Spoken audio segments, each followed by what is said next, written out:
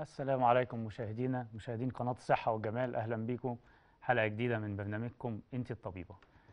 خلونا النهاردة إن شاء الله نكمل الرحلة اللي بدأناها مع بعض في الشرح آه، والفهم والتوضيح في كل الجهاز التناسلي للأنثى. المرة اللي فاتت كنا فتحنا موضوع مهم جدا وهو تكيس المبايض أو تكيس المبيضين لو صح القول. يا جماعة يا جماعة لو سمحتم لو سمحتم تكيس المبايض.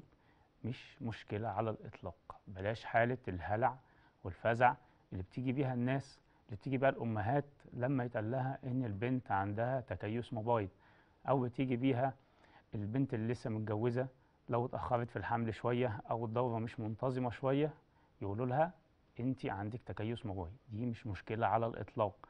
تكيس غير الكيس. تاني التكيس غير الكيس. تكيس المبايض هو حالة هرمونية عامة بتشمل الجسم كله بتبقى عبارة عن سوء في تمثيل الغذاء آه، مرتبط أكتر بمرض السكر أو ليه علاقة بمرض السكر. الحالة الهرمونية العامة دي أو اللخبطة الهرمونية العامة دي سببت إن المبيض يا يبقى خامل أو آه، عملية التبويض أو الإباضة بتختل. كل بويضة بتطلع ما بتقدرش تكبر الحجم المطلوب. بتحبس تقريبا عند حجم 10 مللي أو أقل تحت سطح المبيض. في الآخر بتبقى عاملة شكل العقد أو النكلس شيب بيوصفوها كده. تاني التكيس مش مشكلة خالص. التكيس مشكلته سهلة جدا لأن هو جه أصلا بداية بسبب سوء تغذية أو بسبب زيادة الوزن. فلازم نعكس القصة دي. يبقى هتيجي تقول لنا أنا عندي تكيس هنقول لها لو سمحتي أنت ما عندكيش مشكلة خالص. التكيس ده عبارة عن إن بس التبويض اختل ادام التبويض اختل مفيش دوره ادام الدوره مش موجودة ومفيش تبويض يبقى غالبا هيبقى في تأخر في الحمل ده للمتجوزه البنت هتيجي آه دوره متلخبطة أو بتغيب تغيب ولما بتيجي بتيجي بنزيف. هنقول لها برضه مفيش مشكلة العلاج سهل خالص. كل علاجك إن أنت تعكسي اللي أنت عملتيه. زدتي في وزنك يقل الوزن. هتلاقي الدنيا كلها اتصلحت. آه، بتاكلي باسلوب غلط أو نشويات أكتر في أكلك. اعكسي القصة دي. آه، ابدأي ظبطي أكلك إن يبقى بروتين وخضار ونشويات أقل. هتلاقي كل القصة دي اتصلحت وبدون أي مشكلة على الإطلاق. نادرا نادرا ما بنلجأ للجراحات آه، في الأيام دي أو في الآونة الأخيرة لأن مع تقدم الطب اكتشفنا إن هو امره سهل خالص. تنزل في الوزن هتلاقي القصة دي كلها اتصلحت. مش ما يعني ليه ليه لغاية دلوقتي حالة الهلع والفزع اللي بتيجي بيها الناس لما نقول تكيس و- ولسه خالطين بالرغم إن مش أنا بس يعني كثيرا من الأطباء آه، على الميديا والسوشيال ميديا والتلفزيون والراديو كل يوم بيقولوا يا جماعة التكيس مش هو كيس. تكيس حاجة والكيس حاجة. تكيس مرض عام أو اختلال هرموني عام في الجسم انعكس بس على المبيض اداله صورة أو آه، خلى موضوع التبويض التكيس لأ مش مشكلة خالص. إنما الكيس آه دي حاجة خاصة بالمبيض وليه أنواع وأشكال وكل نوع ليه علاجه وده هناخده برضه بالتفصيل. أنا بس عايز أشرح القصة دي عشان الناس اللي آه لغاية دلوقتي عندها لبس وبتخلط الأمور ببعضيها آه قصة التكيس آه مرتبطة أكتر بزيادة الوزن واختلال نسبة السكر وهرمون الإنسولين في الجسم. ده مرض تمثيل غذائي بحت. لو هنرجع له كده يعني اسأل أي واحدة عندها تكيس كده آه، في حد في العيله عندها سكر؟ 90% منهم يقول لك آه ماما أو خالته غالبا عيلة الأم يعني أو تيتا كان عندها السكر وبتتعالج منه. آه لازم نحذرها لازم نحذرها إن أنت كده آه ده من ربنا إن حصل لك تكيس بدري كده ينبهك إن انت عندك استعداد إنه يحصل بعد كده يجي لك مرض السكر أو مرض السكري. لازم آه تحافظي على وزنك على طول وزن مثالي. انت ليكي وزن مثالي هتلاقي جسمك على طول مظبوط عليه والدورة بتيجي وبيحصل حمل ومفيش مشكلة. لو زدتي في الوزن عن آه الوزن المثالي بتاعك ده هتلاقي بدأت تختل كل الأمور دي.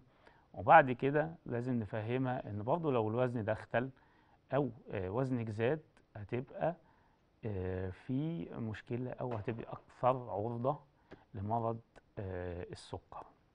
دي نقطة مهمة جدا. لو هنعرض ال- الصورة عشان نوري المنظر وده منظر يعني خلاص هو يعني مشخص جدا لقصة ال- التكيس. مع أعراض تانية؟ آه طبعا. مريض التكيس عادة بتشتكي من آه، اللخبطة في الدورة الشهرية. بمعنى هتيجي تقول لك أنا ممكن تأخر عندي 40 يوم ما تجيش أو شهرين أو ثلاث شهور ولما تيجي بتيجي بنزيف. ليه الكلام ده؟ لأن هو أصلا مفيش تبويض. إحنا قلنا إن كل بويضة بتطلع كل شهر مش قادرة توصل للحجم المثالي. آه، إيه الحجم المثالي آه إيه الحجم المثالي للبويضة؟ الحجم المثالي للبويضة من 18 مللي تقريبا ل 24 مللي. ده المنظر ده على فكرة الصورة دي أنا واخدها من من من عيادتي أنا مش من على النت ولا حاجة. وعندي زيها كتير. يعني أنا طالع زيها كتير جدا لأني تقريبا موجودة في 99% من مرضى التكيس منظر مشخص جدا لما منظر بصوا منظر العقد عامل إزاي. كل البيضات محبوسة آه، زي العناقيد عناقيد عناقيد تحت سطح المبيض. مفيش واحدة قدرت تكبر فيهم. كلهم اتحبسوا عند نفس الحجم وتقريبا نفس الحجم عند سطح المبيض. مش قادرين يخرجوا أو مفيش واحدة فيهم قادرة تكبر. للحجم اللي هو من 18 ل 24 الحجم اللي يعمل تبويض صح أو يعمل حمل. منظر اسمه نيكلس منظر العقد. منظر مشخص جدا لمرض التكيس آه، ده بنشوفه بعد ما بنشوف الشكوى. الشكوى إيه؟ الدورة بتتأخر. بتقعد مثلا شهرين ثلاثة ما تجيش. آه، طبعا ده عشان ما فيش تبويض زي ما قلنا. المنظر ده آه، البويضة طالعة فين؟ ده كلهم كل كل بويضة تطلع بتتحبس. طيب اللي بيحصل إن طنط الرحم بتتجمع في الفترة دي وتبدأ بقى شهر ورا التاني بطانة الرحم بتبقى سميكة وبعد كده فجأة آه، بتنزل على هيئة نزيف بقى مش دورة يعني تنزل في هيئة آه، تقول لك أنا بعد ثلاث شهور من الدورة ما جاتش بس نزلت مرة واحدة عنيفة جدا وبدون ألم.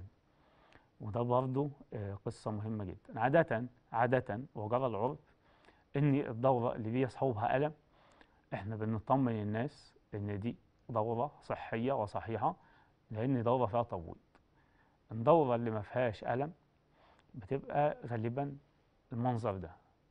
بطانه رحم متجمعة في الرحم ونزلت بعد فترة آه، فمفيش تبويض ما فيش ألم. آه، تاني حاجة بيجوا يشتكوا من آه، زيادة آه، شعر في بعض المناطق في الجسم. يعني مناطق؟ بالظبط المناطق بتاعة زيادة الشعر عند الرجالة يعني منطقة الدقن منطقة ال- الصدر. آه، وسألها سؤال صريح كده. هل أنت عندك زيادة شعر في هذه المناطق؟ تقول لك أيوة فعلا. أنا بدأت ألاحظ إن الشعر بيزيد في المناطق دي. آه، فأنت لازم تاخد بالك من قصة التكيس. مش مجرد إن أنا هتعامل معاها بشكل تجميلي. ونشيل الشعر وخلاص لا آه، لازم تتشخص صح عشان انت مهما عملت تجميل ومهما شلت الشعر بالليزر وكده ما انت سايب المشكلة الكبيرة انت سايب نفس الاختلال الهرموني. صلح الاختلال الهرموني وما تبقى بعد كده ابقى فكر في الناحية التجميلية. يعني صلح القصة وبعد كده ابقى آه، فكر في الجهة الناحية التجميلية. آه، طب علاج التكيس إيه تاني؟ تاني مرة علاج التكيس سهل جدا إن إحنا ننزل في الوزن. طب هيجوا يقولوا لي يا دكتور معانا اتصال. ناخد اتصال ونكمل قصة العلاج إن شاء الله. اتفضلي. السلام عليكم. عليكم السلام. علي صوتك. معك نهى من السودان يا دكتور. نورة من السودان؟ أيوه. اتفضلي. أنا قبلت قبل فترة هنا عندنا دكتور في اخصائي توليد. الصوت مش واضح يا في جماعة. الأربعينات من عمري معلش يا نورة قولي تاني كده. أنا قابلت في دكتور هنا في السودان قابلت في السودان هنا عند دكتور وأنا في الأربعينات من عمري. تمام.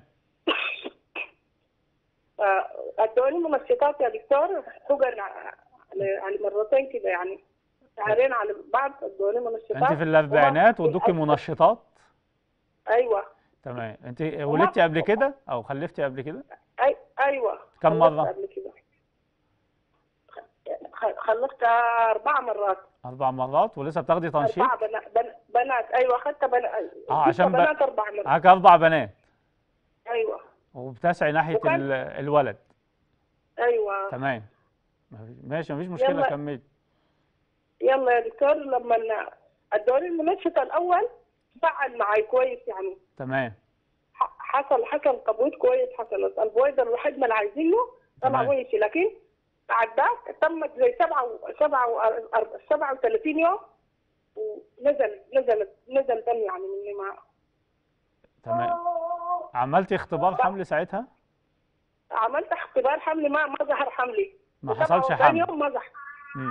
ما ظهر حمل انت والده الاربع بنات طبيعي ولا قيصري؟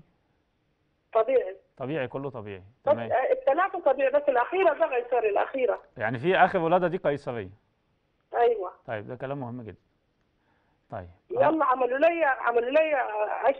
صورة صبغة وعملوا لي فحوصات كاملة عن الهرمونات وال- والغدد وأي شيء طلع كل شيء كويس يعني. يعني عملتي. الأشعة بالصبغه أيوة. وطلعت كويسة؟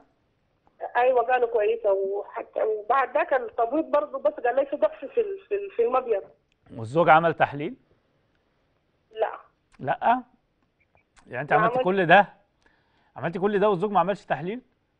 ما عمل والله. حتى كمان طلبوا منه وهو رفض يعمل يعني ورفض. يعني عايز أقول لك ما ما تتشكيش إبرة. يعني ما تخليش حد يسحب لك حتى عينة دم نص سنتي لو الزوج ما عملش تحليل. أنا هرد عليكي. ماشي. شكرا.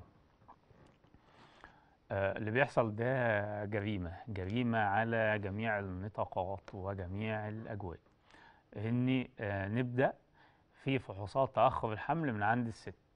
دي جريمة مش هقول مشكلة بقى عشان إحنا خلاص يعني إحنا المفروض بعد آه، البرامج الطبية والأطباء وأساتذتنا اللي بيطلعوا يتكلموا في القصة دي لسه بنغلط نفس الغلط.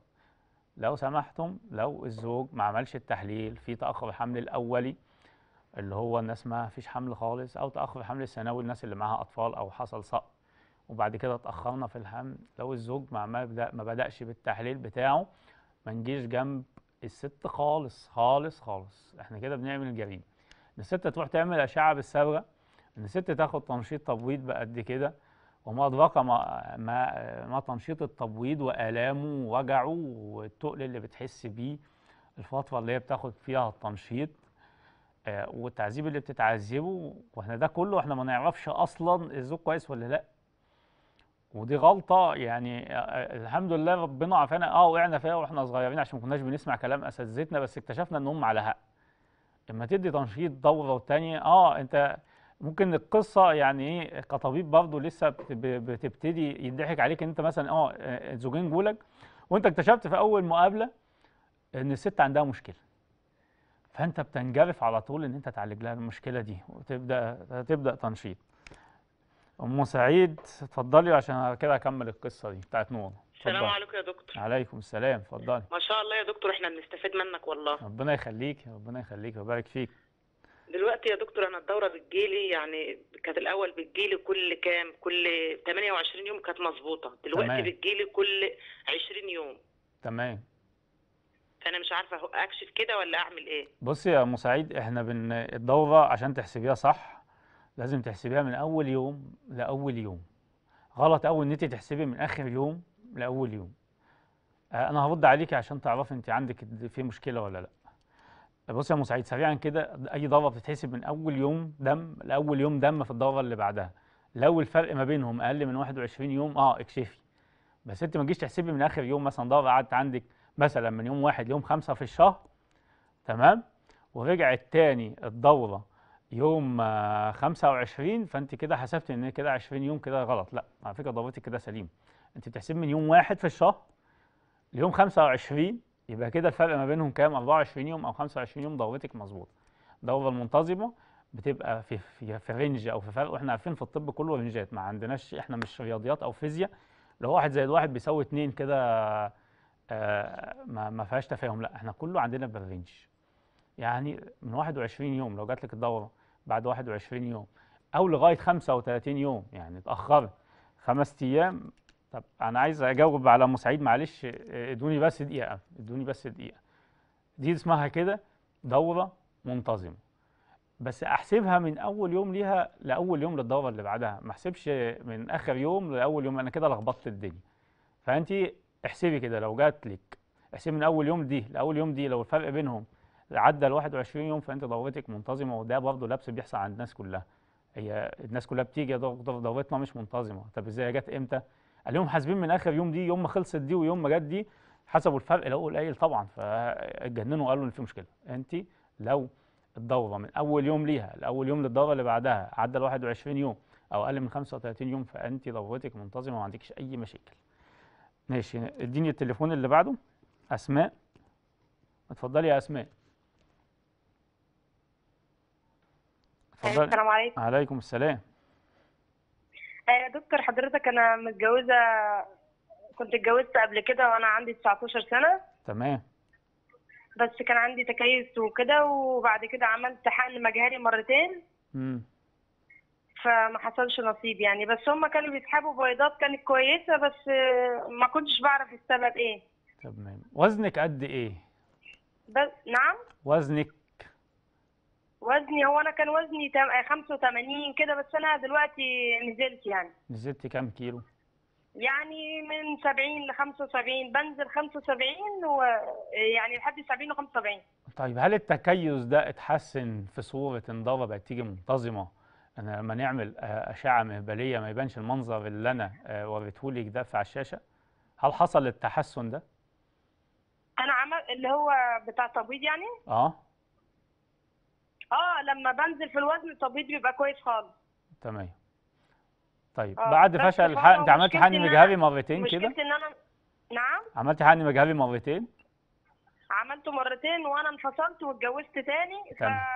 يعني متابعة منشطات وكده. أنا عايشة في مرة مصر فمتابعة منشطات يعني ليا 8 شهور. الزوج الجديد كويس؟ آه التحاليل وأنا الأشعة بالصبغه بتاعتي كويسة والتحاليل كويسة وكل حاجة كويسة خالص. طيب تمام. يعني زوج بس زوج هي زوجك حاليا هي الحمد لله تحليله كويس؟ آه كويس جدا. امم وأنت دلوقتي محافظة على وزنك السبعينات؟ آه أنا أنا دلوقتي 75 طيب تمام.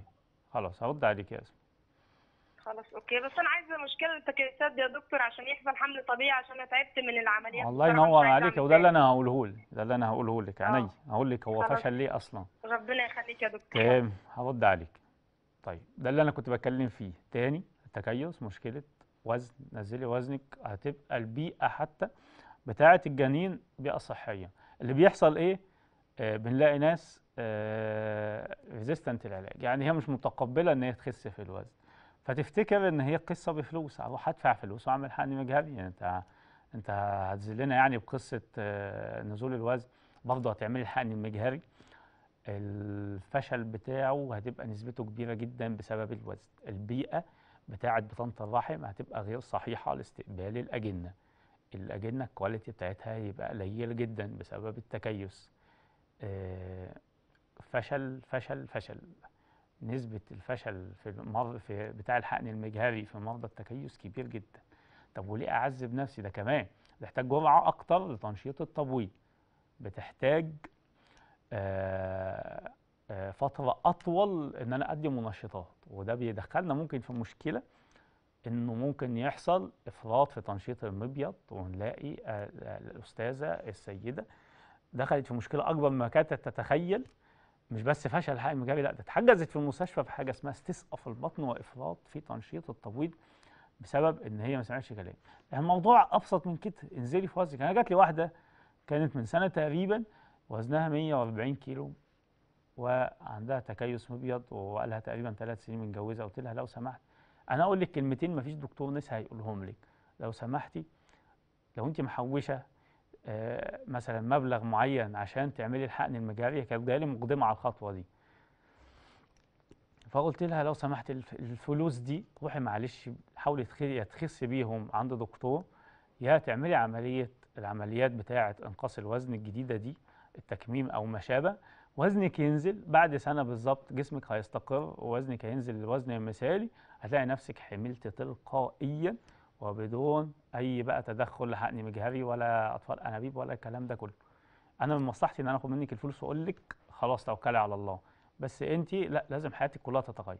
نسبة الفشل عندك هتبقى عالية جدا لو دخلتي كده في تنشيط تبويض أو في حقن مجهري. ما سمعتش الكلام واكتشفت إن هي راحت برضه عملت قصة الحقن المجهري. بيكلموني من أسبوعين لقيتهم بيكلموني إن هي عايزين نحجزها متحولة. مستشفى ما عشان جالها إفراط في تنشيط التبويض. نفس الكلام اللي أنا بقوله هو حصل يعني نفس الكلام اللي أنا حذرتها منه حصل. هتحولها للمستشفى تتحجز آه، في الرعاية المركزة بسبب إن حصل لها استسقاء وإفراط في تنشيط التبويض. لو سمحتي تكيس التكيس مش مشكلة خالص التكيس هو عملية وزن غير آه، مظبوط مع السايكل أو الدورة بتاعت الهرمونات. آه، ظبط ده كله هتلاقي الدنيا مشيت مفيش مشكلة. نورة اللي حصل لنورة هو جريمة إن أنا ما أبدأش بالزوج على طول. آه، لو سمحت يا دكتور لو سمحت يا أستاذة لو آه، حتى أنا شفت السيدة جايالي أو القابل جايلي بمشكلة آه، وشفت ال- الست عندها مشكلة فعلا تكيس أو ما شابه أو مشكلة يعني عندها مشكلة أهو ما لا تستثني الزوج. الزوج لازم نبدأ بيه برضه عشان ممكن أنا أقعد أعالج فيها قد كده وتصلح برضه ما يحصلش حمل وبعد كده أكتشف بعد ست شهور من الفلوس اللي اتدفعت والمجهود والتنشيط والتعب إن إن الزوج ده عنده حركة قليلة أو عدد قليل جدا ما يعملش بيه حمل. وأبقى أنا خسرت الناس الفلوس والمجهود ده كله. مع ان أنا كنت مبدأ ممكن أبدأ تحليل بسيط معلش يعني ب 60 70 جنيه آه، أعرف إن الراجل ده عنده مشكلة هو كمان ويتعالج. آه يا ريت بس يا ريت نعقل الكلام آه ونفهم كويس ونتداركه عشان فلوس الناس ومجهودها وصحتها مش لعبة هنقعد نتعلم فيها. لا آه، اعتبر كل يعني ممكن يكون اللي جاي لك ده آه ممكن يكون دي آخر فلوس معاه وانت آخر أمل بالنسبة له فلو سمحت ما تضيعوش. آه الفقرة اللي جاية فقرة شيقة جدا عن آه أمراض الجيوب الأنفية وحساسية الجيوب الأنفية وكورونا مع آه ضيفنا العزيز. نطلع فاصل ونرجع لكم تاني إن شاء الله.